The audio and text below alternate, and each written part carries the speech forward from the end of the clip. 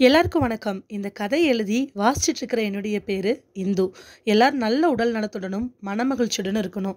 வாங்க நாம் இன்னைக்கு சிந்தனை பெட்டகத்தில் புதுசாக ஒரு கதை பார்ப்போம். நாம் இன்னைக்கு பார்க்க போகிற கதையினுடைய பெயர் உனக்காக பிறந்தேனே. ஒரு அழகான காதலை தழுவி எழுதப்பட்ட கதை இது. சாலையில் இறங்கி நடக்க ஆரம்பிக்கிறாரு முகிலன். அந்த கடையை நோக்கி போகிறதுக்கு அவரோட மனசுக்குள்ள ஒரு பதட்டம். அந்த கடைக்கு போகலாமா வேண்டாமா? ஒரு நிமிஷம். அப்படியே நிற்கிது அவருடைய கால்கள். அதுதான் முடிவெடுத்துட்டியே. அப்புறம் எதுக்காக நிற்கிற போ அப்படின்னு அந்த கால் மறுபடியும் சொல்ல ரொம்ப தயக்கத்தோட தயக்க நடையோட அந்த கடையை நோக்கி போகிறாரு அந்த கடையில் கூட்டம். சின்ன வயசு. அதாவது பதினேழு கடந்த இளைஞர்கள் முதல் நடுத்தர வயது ஆண்கள் வரை கூட்டமாக இருக்கிறாங்க. இப்போது நாம் அந்த கடைக்கு போகிறது சரிதானா அப்படின்னு முகிலனோட மனசுக்குள்ளே தோண்டிக்கிட்டே தான் இருக்குது. இந்த கேள்விக்கு காரணம் முகிலனுக்கு திருமணமாகி முப்பது வருடங்கள் ஆகின்றன. மகள் மூத்தவள் இருபத்தாறு வயது. திருமணம் முடிந்து பேத்தியும் இருக்குது. மகன் இளையவன் இருபத்தைந்து வயது. ஆமாம் எல்லாரும் நினைக்கிற மாதிரி ஒரே வருட இடைவெளியில் இளைய மகனும் பிறந்துட்டான். அவனுக்கு கூட திருமணம் ஆகிருச்சு. இப்போ தான் ஒரு ஆறு மாதம் ஆகுது. இந்த நிலையில் அந்த கடைக்கு போகிறது கொஞ்சம் கூச்சமாக தான் இருக்குது முகிலனுக்கு. ஆனால் போகி தான் ஆகணும். வேற வழி கிடையாது. காரணம் முகிலனுடைய மனைவி. அன்பு மனைவியான வள்ளியம்மாள் தான் இதுக்கு காரணம். திருமணம் ஆகும் பொழுது வள்ளியம்மாளுக்கு வயது பதினெட்டு தான். ஆனால் முகிலனுக்கு இருபத்தாறு வயசு. கிட்டத்தட்ட எட்டு வருஷங்கள் வித்தியாசம். சின்ன கிராமத்திலிருந்து வந்தவ அந்த மல்லியம்மா. முகிலன் படிப்பு மனைவியை விட கொஞ்சம் அதிகம்தான். திருமணமான நாள் முதல் இது வரைக்கும் எதையும் எதிர்பார்க்காத ஒரு தூய ஜீவனாக இருக்கிறாங்க வள்ளியம்மா. அதுக்காக முகிலனையும் சும்மா சொல்லிடக்கூடாது. மனைவியை பார்த்து என்ன வேணும்? ஏதாவது ஆசை இருக்குதான்னு கேட்டது கூட கிடையாது. அந்த அளவுக்கு மனைவி மேலே பாசம்.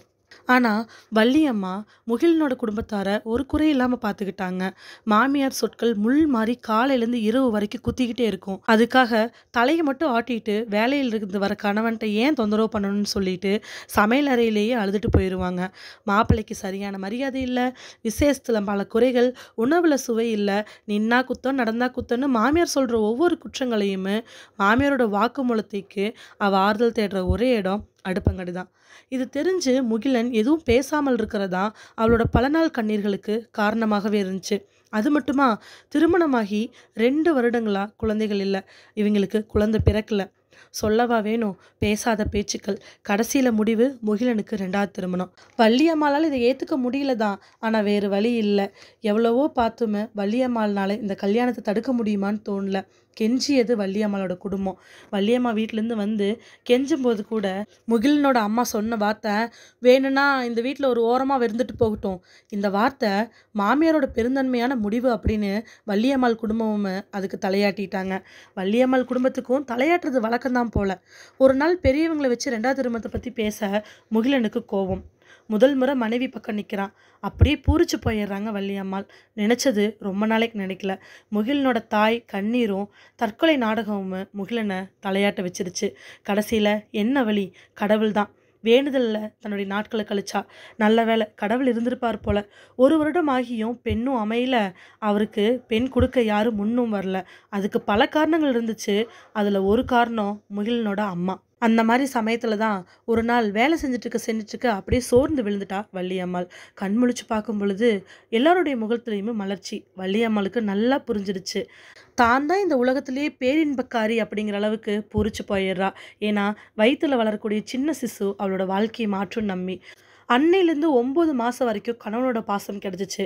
வள்ளியம்மளோட வயிற்றுக்கு மட்டும். மகள் பிறக்க பின் மகன் பிறக்க வாழ்க்கை பிழை இல்லாமல் சென்றுட்டு இருந்துச்சு காலப்போக்கில் பெரியவர்கள் மறைஞ்சு போக வேலை கல்வி அப்படின்னு சொல்லிட்டு சொந்த கிராமத்தை விட்டு பக்கத்தில் இருக்கக்கூடிய பெரிய டவுனுக்கு வந்துடுறாங்க. இந்த மாதிரி முப்பது வருட வாழ்நாள் கழிய போகுது.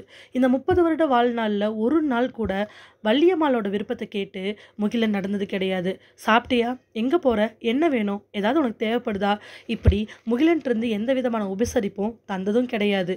ஆனால் காலையில் எழுந்ததுலேருந்து குளிக்க சுடுதண்ணி வச்சு நைட்டு மாத்திரை சாப்பிட தண்ணி கொடுக்குற வரைக்கும் இந்த மாதிரி எல்லா சேவைகளையும் கேட்காமே வள்ளியம்மா நிறைவேற்றிட்டு இருந்தாங்க மகன் மகள்கிட்ட உள்ள பாசம் ஒரு கால் பங்கு ஏன் ஒரு கடு அளவு கூட அவட்ட முகிலன் காமிச்சது கிடையாது.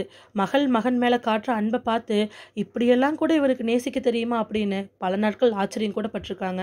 இன்னைக்கு மகளுக்கு திருமணம் ஆகி போய் மூணு வருஷம் ஆயிடுச்சு. அந்த வெற்றிலை நிரப்பப்படுறதுக்கு முன்னாடியே மகனுக்கும் திருமணம் முடிஞ்சு வேலை நிமித்தமாக வேற ஊர் போக வேண்டியதாயிடுச்சு. மாதத்துக்கு ஒரு முறை ஏதாவது விசேஷம் நல்ல ஒரு பண்டிகை அப்படின்னா எல்லாரும் வருவாங்க சந்தோஷமாக இருப்பாங்க ரெண்டு மூணு நாள் கழிச்சு போயிடுவாங்க. இவ்வளவு நாள் உணராத ஒரு விஷயம் இந்த ஆறு மாத காலத்தில் முகிலனுக்கு புரிய ஆரம்பிக்குது. மனைவி எவ்வளோ செஞ்சிருக்கிறா? எதுவுமே எதிர்பார்க்காம ஆனால் நாம் வாழ்க்கையை பின்னாடி திரும்பி பார்க்கும் பொழுது ஒரு பெரிய கேள்விக்குறி ஆச்சரியக்குறியோட தொத்தி நின்றுச்சு. முகிலன் யோசிச்சு யோசிச்சு பார்க்குறாரு நாம் எவ்வளவோ பண்ணியிருக்கோம். நம்ம அம்மாலிருந்து வீட்டில் இருக்கிறவங்க எல்லாம் வள்ளியம்மால திட்டாத வார்த்தைகள் சொல்லாத வார்த்தைகள் கிடையாது. ஆனால் இவையை இப்படி பொறுத்து நமக்கு எல்லாம் பண்ணிட்டு இருந்திருக்கிறா அப்படின்னு. இப்போ தான் கொஞ்சம் கொஞ்சமாக சாப்பிட்டியா? கோவிலுக்கு போனியா? அப்படிங்கிறது மாறி வா சாப்பிடலாம் கோயிலுக்கு போகலாம் அப்படின்னு ஆரம்பிக்குது. வள்ளியம்மாள் அப்படியே மகிழ்ச்சியில் சந்தோஷத்தில் திளைக்க ஆரம்பிக்கிறாங்க. இது நாள் வரைக்கும் கிடைக்காதது கணவன்கிட்டருந்து இப்போ தான் கிடைக்க ஆரம்பிக்குது அப்படின்னு எல்லா வேலைகளையும் பங்கு போட்டுக்கிறாங்க. எல்லா விஷயத்தையும் ஷேர் பண்ணிக்கிறாங்க. ரெண்டு பேரும் இத்தனை வருஷம் கிளம்பிச்சு நல்லா நெருக்கமாகறாங்க. வள்ளியம்மாள் என்னவோ முகிலன் கிட்ட நிறைய விஷயங்கள் சொல்வதுண்டு. ஆனால் முகிலன் அப்படி கிடையாது. வேலை வீடு பிள்ளைகள். வள்ளியம்மாளை எதுக்காக பயன்படுத்தினார் அப்படிங்கிறது மகன் மகளுடைய உச்சிடம் இருக்கும் பொழுது தான் தெரிய வருது. நேற்று நைட்டு வள்ளியம்மாளை அழைச்சு தன்னோட வீட்டு வாசல்ல உட்காந்து நிலா வெளிச்சத்தில் பேசிட்டு இருக்கிறாரு முகிலன். தன்னுடைய திருமண வாழ்க்கை முப்பது வருடங்கள் முடிய போகுது. அதாவது முப்பதாவது திருமண நாள் அப்படிங்கிறது முடிய போகுது அப்படிங்கிறபோது அவர் வள்ளியம்மாளை பார்த்து கேட்குறாரு நான் உனக்கு ஒன்றுமே செய்யலை.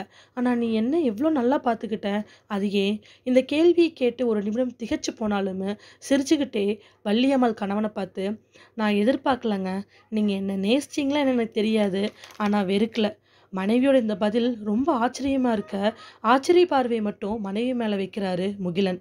அடுத்து இதை புரிஞ்சுக்கிட்ட வள்ளியம்மா கணவன்கிட்ட அத்தை திட்டும்போது நீங்கள் என்னை திட்டினதில்லை. வேறு திருமணத்துக்கு ஒத்துக்கவும் இல்லை. ஒருவேளை நீங்கள் திருமணத்துக்கு ஒத்துக்கிட்டு அதை நீங்கள் நடத்துகிறோம் அப்படின்னு நினைக்கிற நேரத்தில் கூட என்னை வெறுக்காமல் தான் இருந்தீங்க. அதுக்கும் மேலே நான் தாய்மையை உணர்றதுக்கு காரணம் நீங்கள் தான். சொன்னவளுக்கு முகம் முழுக்க அப்படி ஒரு சிவப்பு வெக்கத்தில் சிவந்து போயிட்டா அங்கே இருக்கக்கூடிய நிலா வெளிச்சத்தை விட வள்ளியம்மளோட முகம் கணவன்கிட்ட வெக்கத்தில் சிவந்து கிடக்குது. இந்த வயதில் இப்படி ஒரு காதல் பூக்குன்னு ரெண்டு பேருமே எதிர்பார்த்துருக்க முடியாது. வாயெடுத்து போனார் முகிலன். எப்படி தன் மேலே இப்படி ஒரு பாசம் வச்சுருக்கக்கூடிய மனைவி இருக்கும் பொழுது அருமை தெரியல. இல்லை யாராவது அந்த இடத்துல இருந்து தெரியுமோ? அப்படின்னு யோசிக்க ஆரம்பிக்கிறாரு. இன்னைக்கு முகிலனுக்கும் வள்ளியம்மாளுக்கும் முப்பதாவது வருட திருமண நாள் முடிந்து முப்பத்தி ஒன்றாவது வருடம் ஆரம்பிக்கிற நாள். அந்த பூக்கடையில் ஒரு குத்து பூ வாங்கிட்டு அந்த காட்டில் அன்பை பகிர அளவுக்கு வார்த்தைகளை சொல்லிட்டு அதை வாங்குறதுக்கு ஆயிரம் தயக்கத்தில் நின்றுட்டுருக்கிறாரு கடைக்காரர் பார்த்து சிரிச்சிட்டு ஒரு சிறப்பான பூக்கூத்தை எடுத்து தர வாங்கிட்டு சுற்றி முற்றி ஒரு பார்வையை விட அங்கே இருக்கக்கூடிய இரண்டு மூணு இளைஞர்கள் அவரை பார்த்து சிரிச்சுக்கிறாங்க. தயக்க பார்வையுடன் நடந்து சென்று தெருமுனையில் இருக்கக்கூடிய அவர் வண்டியை எடுத்துக்கிட்டு அவரோட ஆசை மனைவியை பார்க்கறதுக்காக போகிறாரு கையில் அழகான பூங்கத்தோட மனசு முழுக்க அப்படி ஒரு ஆசையோட தன்னோட ஆசை மனைவிக்கு முதல் முதல்ல காதலை சொல்ல போகிறாரு இந்த வயதான காதலன். வள்ளியம்மாளுக்கான முகிலனுடைய பரிசு காதலை சுமந்துக்கிட்டு அவங்கள சந்திக்கிறதுக்காக போயிட்டுருக்குது. காதலுக்கு வயதுண்டோ? இதோடு இந்த கதை நிறைவடைகிறது. இதே மாதிரி கதைகளை கேட்கறதுக்கு மறக்காமல் நம்ம சிந்தனை பெற்றதுக்கு வாங்க. மறுபடியும் வேறு ஒரு கதையோடு உங்களை சிந்தனை பெற்றத்தில் சந்திக்கிறேன். அது வரைக்கும் நன்றி. மகிழ்வித்து மகிழ்ந்திருங்கள்.